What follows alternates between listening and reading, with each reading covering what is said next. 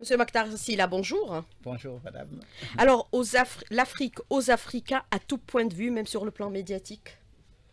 Absolument. Je pense qu'il est grand temps que l'Afrique euh, aille sur le terrain de ses propres narratifs. Car nous avons les compétences, nous avons les histoires, nous avons toutes les activités nécessaires et que l'Afrique puisse non seulement s'occuper de l'Afrique, mais parler du reste du monde, car je pense que nous avons beaucoup d'apports à mettre sur ce banquet de l'universel. Alors dans ce contexte de la géopolitique actuelle, la souveraineté médiatique est devenue aujourd'hui une question stratégique puisque les guerres sont aussi à la fois médiatiques ou essentiellement médiatiques. J'ai tendance à dire très souvent que les modes de domination aujourd'hui ne passent plus tellement par la guerre, par les armes, etc., avec fracas, mais passent par la domination à travers les médias. C'est comme cela qu'on véritablement formate les esprits, qu'on essaie euh, d'imposer ses cultures, d'imposer des démarches.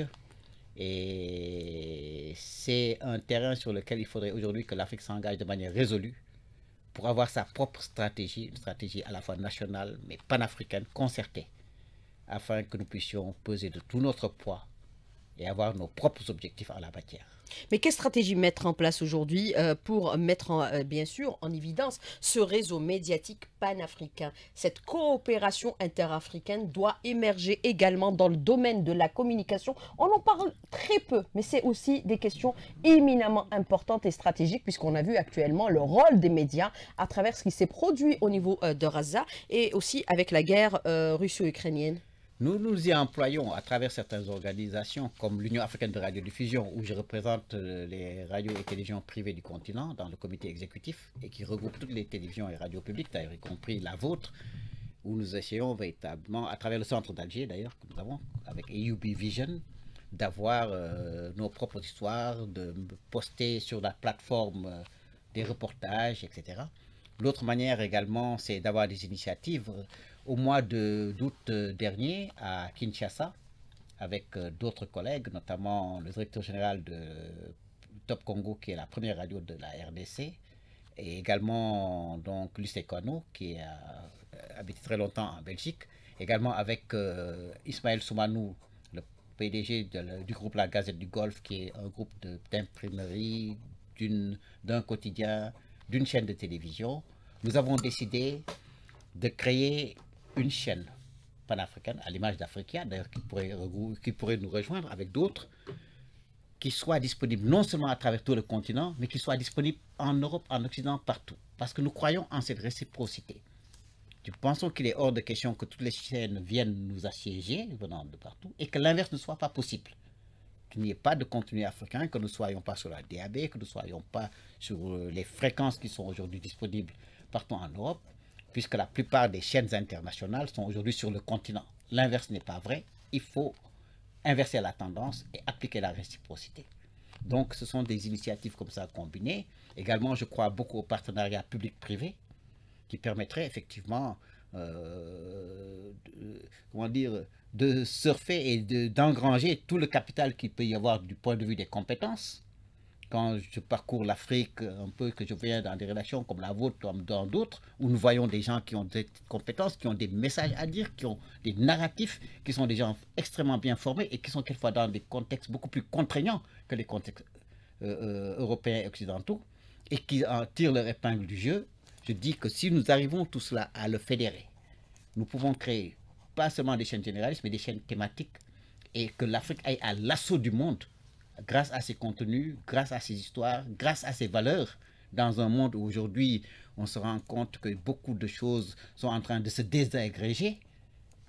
Je pense que nous avons véritablement beaucoup de choses à apporter un peu en termes de contenu, en termes de savoir-faire, de savoir-vivre de savoir-être. Mais justement, on parle de coopération panafricaine dans le domaine, bien sûr, d'échanges euh, médiatiques, mais comment aussi à la fois renforcer l'appartenance des pays africains avec leurs médias? Comment concilier les deux de telle sorte est-ce que les Africains ou euh, du continent puissent se réapproprier leurs médias? Non, je pense que quand on voit les études d'auditoire qui sont faites, hein, aussi bien pour la radio que pour la télévision, aujourd'hui, ce qui est constant dans chaque pays considéré, ceux qui font véritablement la une, qui sont à la tête des sondages, même si les audits auditoires sont un peu aléatoires selon les pays, aujourd'hui, fondamentalement, les Africains regardent et écoutent leurs chaînes de radio et de télévision principalement, leurs médias. Maintenant, il faut que nous ayons un niveau de qualité qui soit supérieur, parce que beaucoup Qu'est-ce de que gens... vous entendez par qualité? En termes de contenu, en termes de compétences, aujourd'hui, il y a beaucoup de gens... Vous, écoutez, je vous donne un exemple. Au Sénégal, vous avez 55 quotidiens. Dans un pays comme le Sénégal, je sais que vous en avez beaucoup plus en Algérie, mais c'est trop. 55 quotidiens. Rares sont les pays euh, dans le monde qui ont 55 quotidiens. D'un point de vue économique, d'un point de vue du contenu, etc. Quelquefois, c'est juste une une avec de gros titres, avec des articles qui ne correspondent pas du tout aux titres qui sont énoncés. Donc, il faut absolument inverser cette tendance-là. Et donc, euh, en termes de qualité, c'est ça. Avoir de la véritable compétence et faire le tri entre des gens qui sont aujourd'hui, qui ont fait irruption dans la profession, sans être de véritables journalistes. Ça peut être des blogueurs, ça peut être des leaders d'opinion. Quand on voit également du point de vue de, des statuts, de qui les a créés, qui sont les gens qui sont derrière, on se rend compte aujourd'hui qu'il y a beaucoup de gens qui ont fait irruption dans la profession, qui sont en service commandé ou autres, et qui n'ont rien à voir dans cette profession-là.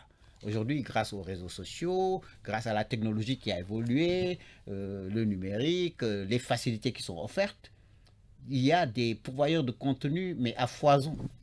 Et cela, effectivement, peut être un handicap dans cette quête de qualité, dans cette quête d'excellence. Mais vous avez certaines tendances ou certaines personnes qui disent aujourd'hui que les Africains n'ont pas confiance en leurs médias. C'est la raison pour laquelle ils se dirigent vers les euh, médias occidentaux. Quel est votre commentaire justement par rapport à cette euh, question? Est-ce que c'est ça qu'il faut aujourd'hui impérativement combattre de telle sorte à réorienter les Africains vers leurs médias? Absolument. Et cela passe, je pense, par véritablement euh, un certain nombre de mesures très, très pratiques. Du point de vue de la Une information vraie et vérifiée? Absolument. Il faut, il faut que ce soit vrai et vérifié. Il faut également qu'il y ait de la formation des acteurs qui sont aujourd'hui dans ce secteur-là. Et l'une des choses aussi, c'est qu'il faut également éviter toute censure inutile. Il y a des choses, il vaut mieux les aborder de manière responsable, en respectant les règles éthiques et déontologiques, mais il faut en parler. La politique de l'autruche, quelquefois, ne sert absolument à rien. Et c'est ça qui fait le lit d'un peu de tout commentaire, de toute, euh, j'allais dire, extraversion. Et en pensant que lorsque c'est une chaîne occidentale qui le dit, c'est vrai, lorsque c'est la chaîne locale qui le dit, ce n'est pas vrai. Donc il y a une question un peu de crédibilité. Et ça, c'est des questions liées à la professionnalisation, euh, à la formation, euh, à la création d'un espace réglementaire légal qui permette d'avoir euh, donc cette liberté d'expression qui est fondamentale, qui est reconnue par tous les droits, mais en même temps en l'inscrivant dans un cadre bien déterminé, en sachant que nous avons des objectifs qui ne sont pas forcément les objectifs des autres, qui sont sur notre, le même terrain que nous, qui donnent des contenus sur le même terrain que nous, mais qui n'ont pas les mêmes objectifs et les mêmes aspirations. Donc euh, aujourd'hui, vous allez presque partout en Afrique, vous avez toutes les chaînes possibles, imaginables, euh, qui sont quelquefois dans nos langues nationales aujourd'hui. Et nous, à l'inverse, nous ne le faisons pas. Donc ce n'est plus tellement une question de moyens, c'est une question de vision.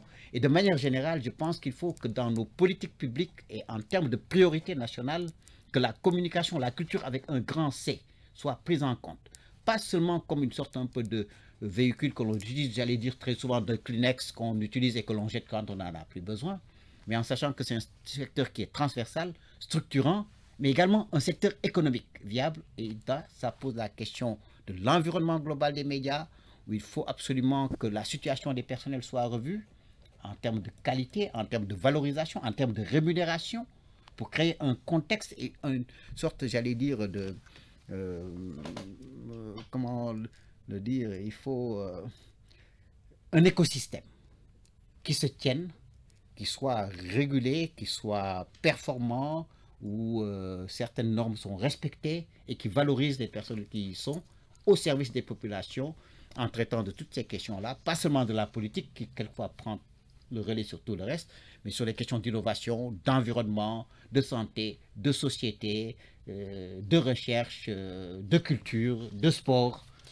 Il faut euh, réinstituer le débat libre et euh, entre tous les acteurs euh, des pays africains, recouvrer la confiance avec son auditoire, avec son public, avec ses lecteurs et parler de toutes les questions et des problèmes et inspirations et des Africains avec les Africains entre Africains avec les Africains. Ça doit se mettre en place impérativement puisque nous avons vu que nous sommes le continent le plus peuplé, le, qui, a, qui recèle aujourd'hui le plus nombre de pays, 54, et nous n'avons pas une voix qui est portée au niveau même des instances internationales. Est-ce que c'est parce qu'aujourd'hui, cette vision de l'Occident qui veut nous mettre toujours en situation de sous-développement? Quel est votre commentaire justement par rapport à cette question?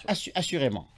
Mais je dis, l'Occident a beau vouloir nous mettre dans cette euh, position-là, il nous appartient, quand je dis il nous appartient, au plus haut niveau, à nos leaders politiques, nos gouvernements, les Africains en tant que tels, la société civile, de faire pression de telle sorte que nous soyons à notre véritable place. Il faut une prise de conscience collective Absolument. Et des actions collectives. Ces actions qui peuvent passer par nous. S'ils ne veulent pas tellement nous mettre à notre place, créons nos propres structures, nos propres instances, aussi bien au niveau politique, au niveau économique, au niveau social, au niveau médiatique, pour avancer. Mais aujourd'hui, ce qui est relevé, euh, c'est qu'il y a une prise de conscience collective au niveau des pays africains. Nous avons vu un terreau intellectuel très important. Les Africains sont au fait de toutes les questions. Vous avez vous-même été, euh, bien sûr, euh, le patron hein, de TV5. Est-ce que c'est ça qui va faire émerger une nouvelle vision au niveau du continent africain sur le plan, bien sûr, médiatique? Bien sûr, il y a les questions aussi économiques, les questions sociales les questions politiques également, mais surtout sur le plan médiatique. C'est les médias qui boostent un peu la prise de conscience collective aussi de la population. assurément, c'est sûr. Les médias jouent de l'opinion. Absolument, les médias jouent un rôle fondamental. On l'a vu hein, maintenant. Fondamental. Dans les deux sens. Hein. Oui. Dans le bon et dans le mauvais. Dans le bon et dans le mauvais. Quand on prend la période de la Covid, on a vu le rôle que les médias ont joué. Aujourd'hui, quel que soit, j'ai tendance à le dire. On le voit avec l'Occident aussi, avec Raza. Absolument. Aucune politique publique ne peut réussir sans l'accompagnement des médias. Aucune. est-ce qu'on doit se décomplexer aussi par rapport aux médias occidentaux?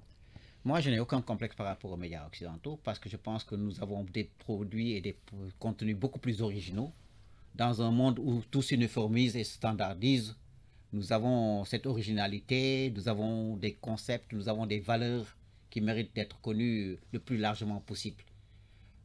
L'Afrique n'a aucun complexe de ce point de vue à faire, du point de vue de sa diversité culturelle, de sa diversité économique, de son potentiel, de sa jeunesse, qui aujourd'hui est la force la plus dynamique de notre univers, nous n'avons aucun complexe à faire. Aucun complexe à faire. Il faut absolument en être conscient, le structurer, l'accompagner et le traduire en des contenus concrets. Il faut également que les Africains apprennent à se connaître davantage entre eux. Je n'ai pas besoin de passer par quelque agence internationale que ce soit pour savoir ce qui est en train de se passer aujourd'hui en Algérie. Nous ne pouvons pas être à des frontières pratiquement contiguës et devoir aller faire je ne sais pas combien de kilomètres pour revenir et faire le, une sorte comme un effet de boomerang et revenir. Non.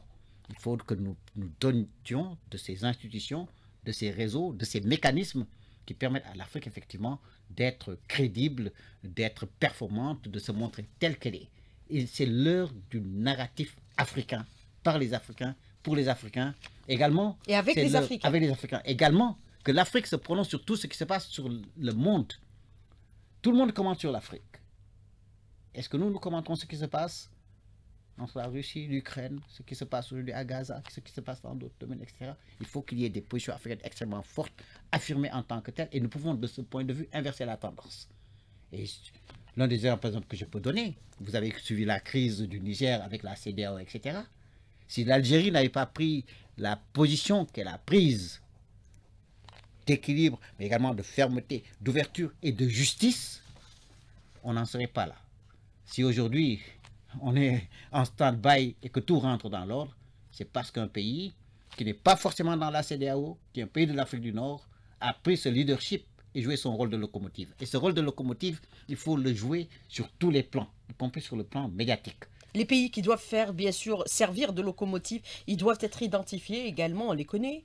C'est important Absolument, c'est important. L'Algérie en fait partie, le Nigeria en fait partie, l'Afrique du Sud certainement, et d'autres pays effectivement. donc peuvent le faire. Mais il faut jouer ce rôle-là fondamentalement. On n'a pas besoin d'être des 54. Il suffit qu'il y ait 4-5 pays qui prennent les d'oro par les cornes, qui disent qu'il faut aujourd'hui que nous ayons une politique audiovisuelle extérieure et une politique médiatique extérieure internationale africaine, qu'on se dote des moyens. Il suffit d'acheter moins de véhicules 8-8 euh, de serrer un peu quelques budgets dans quelques ministères, etc., de faire un peu moins de folklore pour avoir un budget conséquent qui permette à l'Afrique de jouer véritablement son rôle. Alors, M. Euh, Monsieur là, je voudrais revenir avec vous sur cette question qui est devenue aujourd'hui euh, carrément stratégique, mm. éminemment importante. On l'a vu avec le contexte géopolitique actuel, la guerre en Russie, la guerre, le génocide de Reza, avec le traitement médiatique du génocide de Reza. Est-ce que les masques sont tombés par rapport, bien sûr, à cette politique de deux poids, deux mesures des médias occidentaux? C'est la mise à nu des médias occidentaux? Absolument, il est tout à fait clair qu'il y a des positions qui se prennent qui sont quelquefois en totale contradiction avec toutes les résolutions des Nations Unies.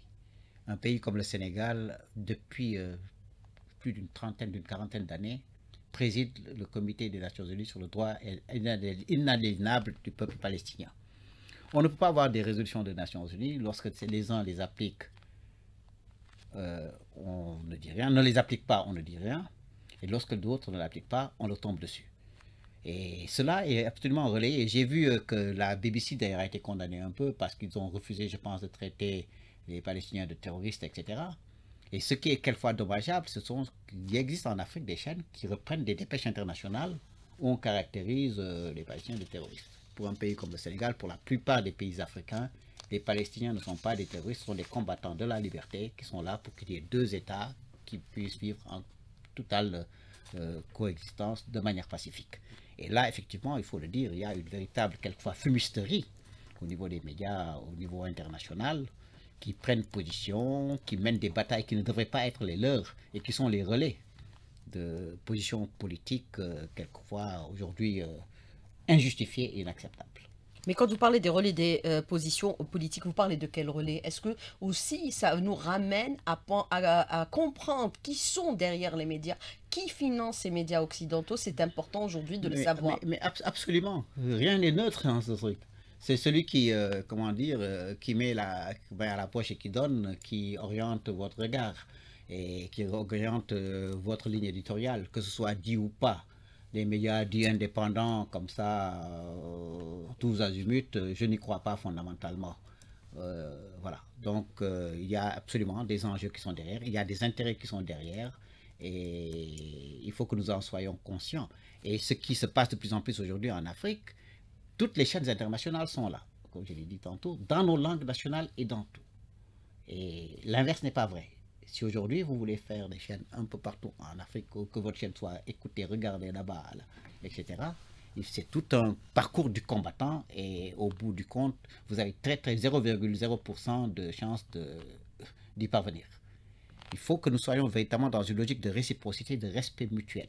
L'Afrique doit avoir une radio, une télévision au niveau euh, des pays occidentaux, par exemple en Europe. Mais absolument, il y en a quelques-unes, bon, tentatives qui se font là-bas, mais il faut oui, mais c'est des radios communautaires. Absolument. Il faut, c'est des radios communautaires. Et même au niveau de, il y avait l'Afrique numéro 1 à l'époque, à la 107.5 à Paris, etc. Mais il faut, et c'est ça l'ambition que beaucoup d'entre nous avons aujourd'hui, au niveau du privé que nous voulons faire avec le public. Je ne parle pas d'une radio, d'une télévision. Nous devons avoir des radios, des télévisions thématiques. Ça peut être des télévisions thématiques, ça peut être des télévisions généralistes, des radios généralistes. Et donc, il faut que l'inverse soit vrai. Nous ne pouvons pas être là, y compris sur nos propres territoires. Lorsque vous avez tous ces distributeurs, ces chaînes qui sont là, euh, euh, les chaînes africaines sont à, partir de la 200, de la 300e place. Et les autres chaînes internationales sont à la 1, 2, 3, où il est plus facile euh, pour les homo sapiens du monde entier de commencer par le 1, 2, 3. Il faudrait donc, certains pays l'ont fait, récemment la Côte d'Ivoire a imposé à groupe Canal de mettre les chaînes euh, ivoiriennes en première ligne avant de mettre les autres chaînes. Donc il faut absolument que nous soyons dans cette... Euh, Ce n'est pas des revendications en tant que telles, c'est quelque chose qui doit être de, quelque chose de normal, qui doit être quelque chose de régulé, qui doit être des règles de jeu. Également au niveau financier, toutes ces chaînes viennent avec de la publicité au niveau international. Euh, ça, ça coupe le trait ombilical entre nos chaînes et les annonceurs puisqu'ils passent par des agences internationales, et c'est des manques à gagner pour leur chaîne nationale. Et donc, est-ce qu'une partie de la TVA est reversée? Quel est l'impact Est-ce qu'ils payent les impôts de la même manière que nous? Ainsi de suite, ainsi de suite. En termes de recrutement, est-ce que les compétences locales sont utilisées et tout? Il faut véritablement, tu parlais tantôt d'un écosystème, il faut remettre les choses à plat, appliquer la réciprocité et partir de nos intérêts en tant que pays africains. Et c'est là également où il est important que nous ayons cette concertation-là, que nous puissions, de la même manière qu'il existe en Europe des directives européennes, etc., en matière de télévision, de radio, etc., que nous ayons des directives au niveau de l'Union africaine et que l'Afrique puisse véritablement avoir de véritables stratégies au niveau médiatique. Si nous perdons la bataille médiatique, nous perdrons toutes les autres batailles, y compris politiques, y compris économiques, etc. Et comme le disait un de mes amis très souvent, qui a quitté la Banque mondiale, euh, il faut que nous ne soyons plus dans cette logique de nous inscrire dans ce qu'on appelle ces fabriques de pauvreté. la Banque mondiale, fabrique de pauvreté. Non seulement d'un point de vue économique, mais d'un point de vue intellectuel, d'un point de vue médiatique, d'un point de vue environnemental, etc même la question de la COP28 récemment et tout, on se rend compte que l'Afrique est le continent qui pollue le moins et on veut nous mettre un corset au détriment et de nos avantages euh, comparatifs et de nos besoins véritablement réels.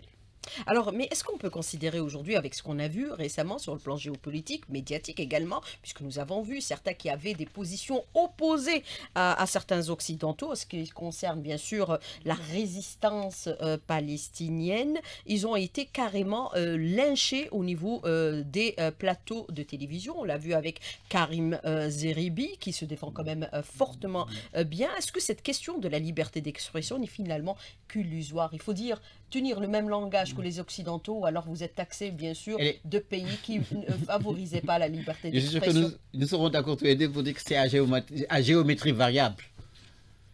Vous connaissez bien en plus voilà, la question. à géométrie variable. Donc, et puis, euh, tout dépend des référentiels. De quelle liberté parle-t-on? Qui l'a défini? Par rapport à quoi? Dans quel contexte géopolitique, social, sociologique, mental? Quels sont les référentiels? Ce ne sont pas les mêmes. Il faut, faut pas, il n'y a pas un corset universel qu'on veut imposer à tous, tout le temps, en même temps.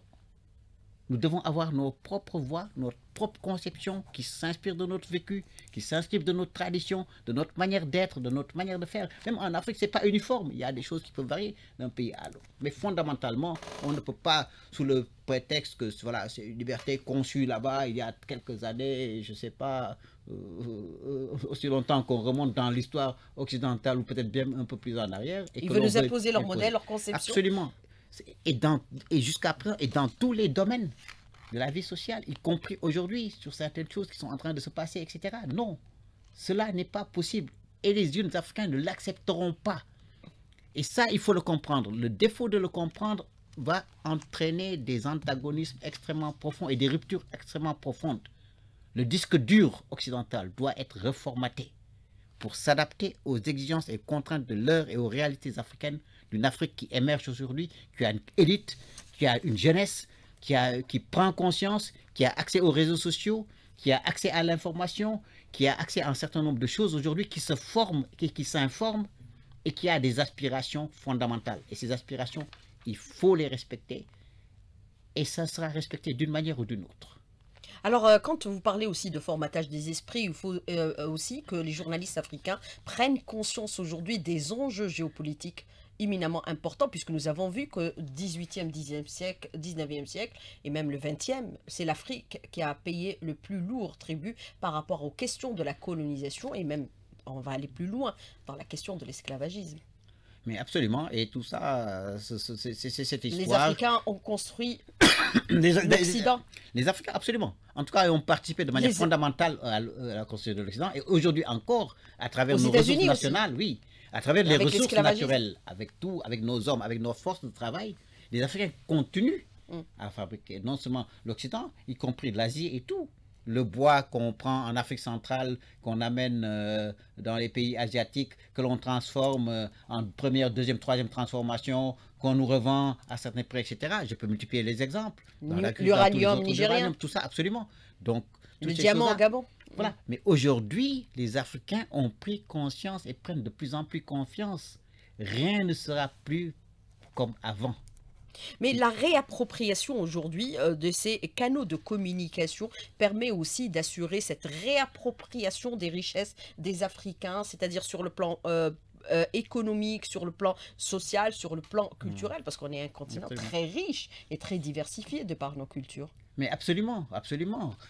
Vous, quand vous voyagez en Afrique, rien que, on doit dire, hier soir, euh, on a eu une prestation d'une troupe euh, avec une musique, je pense, qui est mélange de trucs andalous, tout ça, mais, mais exceptionnel, qui montre cette diversité du continent, ce talent, ce savoir-faire, cette richesse. J'ai parcouru, je sais pas, moi j'ai fait plus de 100 pays dans le monde. J'ai fait pratiquement toute l'Afrique, du nord au sud, de l'est à l'ouest. J'ai vécu dans plusieurs pays africains, au Kenya, au Ghana, au Sénégal, en Côte d'Ivoire, au Cameroun, au Gabon, etc. Où j'ai vu des gens mais extraordinaires, euh, de la véritable richesse, un véritable potentiel. Pas pour dire comme George Orwell qu'on était dans une sorte un peu de meilleur des mondes. C'est vrai, il y a des difficultés, il y a des problèmes, il y a. Mais il y a un potentiel extraordinaire aujourd'hui de l'Afrique sur lequel nous devons bâtir. Nous devons en être conscients. Et cela Et également. nous avons les moyens. Nous Absolument. avons l'uranium, nous avons le pétrole, nous avons le gaz, Absolument. nous avons le bois, vous l'avez cité tout à l'heure, nous avons des richesses extraordinaires au niveau du continent. Absolument, mais tout cela, pour mieux l'exploiter et tout, il faut mettre un accent particulier sur la formation et l'éducation. Une éducation qui corresponde à nos véritables besoins, avec des curricula qui ne sont pas des curricula imposés comme ça et valables sous, toutes les, sous tous les toits euh, un peu partout, mais qui soient véritablement conformes à nos réalités économiques, à nos réalités sociales, formés, euh, capacité, avoir euh, davantage euh, de compétences qui permettent de prendre en charge tous ces domaines et de hisser le continent au niveau où il doit être. L'Afrique est un continent riche de ses richesses naturelles, de la richesse de, ses- de son capital humain, et c'est sur tout ça qu'il faut bâtir, mais dans un environnement qui est régulé, dans un environnement démocratique, avec un véritable leadership et de véritables locomotives et une véritable élite qui permettent à ce continent-là d'avoir sa place sur la scène internationale. Alors la voix avec, euh, bien sûr, VOX aux Africains. La Chine s'est réveillée. À quand le tour du continent africain? Il est en train de se faire. Non, se absolument. La- Non, l'Afrique se réveille et il, faut faire, il faudra faire très très attention parce que là, quand l'Afrique se réveillera, le réveil risque d'être brutal et douloureux euh, par ailleurs. Et c'est ça, c'est la voie et ça me permet de parler même euh, de feu euh, Sidi Laminias qui est l'un des précurseurs des médias au Sénégal, qui a sa radio Walfadri qu'il appelle la voix des sans-voix. Donc il est absolument important que nous traitions non seulement nos voix, mais notre voix, V-O-I-E, V-O-I-X. Et je suis véritablement confiant que l'Afrique a ce potentiel-là. Il faut encore une fois qu'il y ait des locomotives qui prennent les choses en main dans un partenariat public-privé et c'est possible. Moi, j'ai depuis 2017, à partir du Gabon, c'est là où j'ai lancé la chaîne panafricaine Label TV. J'ai une chaîne locale sous Label TV au Sénégal, mais également accessible un peu partout dans le monde, mais qui parle en français et en wolof, l'autre en français et en anglais. Et la question effectivement aujourd'hui de la langue, c'est pas un handicap. Aujourd'hui, et de plus en plus on le verra, avec l'intelligence artificielle, avec des logiciels, etc., en ayant des programmes qui soient dans des langues euh, aussi nombreuses que possible, l'arabe peut en être une, le portugais, l'anglais, le français, déjà on le fait au niveau même du centre AUB Vision qui est ici à Alger, mais également le swahili, aller vers le poulard. Il y a 65 millions de locuteurs poulard aujourd'hui en Afrique. Mais qu'on trouve comment un peu justement partout. préserver ces langues maternelles aujourd'hui? Mais justement, en- il faut les valoriser dans l'éducation, Mm. les intérêts dans les curricula au plus bas âge, depuis l'école primaire, depuis même la maternelle, l'école primaire, etc. Mais en même temps, en les utilisant dans les médias. On peut avoir des chaînes thématiques qui soient en Haoussa, d'autres qui soient en Swahili, euh, dans d'autres langues africaines qui sont les plus parlées, 5, 6 ou 7, en plus des langues internationales. Nous ne sommes pas un continent recroquevillé sur lui-même. Nous ne vivons pas en autarcie. Nous ne prônons pas et ne prêchons pas pour l'autarcie. Mais nous prêchons pour l'ouverture. Mais en même temps, c'est ce que Léopold Sédar Senghor appelait l'enracinement et l'ouverture. D'être profondément dans nos racines, mais être ouvert, être des citoyens du monde, mais être valorisé en mettant en avant tout le potentiel que nous avons en termes de valeurs, de savoir-être, de savoir-vivre, de connaissances traditionnelles, modernes et tout, de cette Afrique euh, avec un p- tréfonds culturel extrêmement pertinent qui peut être vendu à la face du monde. Alors, nous vivons pas l'autarcie, je reprends votre expression par rapport aux langues bus. Il y a bien sûr une multitude de langues universelles au niveau du continent africain, euh, l'anglais, le français, euh, le portugais, l'espagnol, euh, également d'autres langues, hein, également importantes. Mais est-ce qu'il va falloir aussi s'entendre sur une langue commune ou rester sur ces langues-là pour les préserver et pour créer justement des radios communes? Non, je pense qu'il faut, on peut faire des radios communes dans ces langues-là.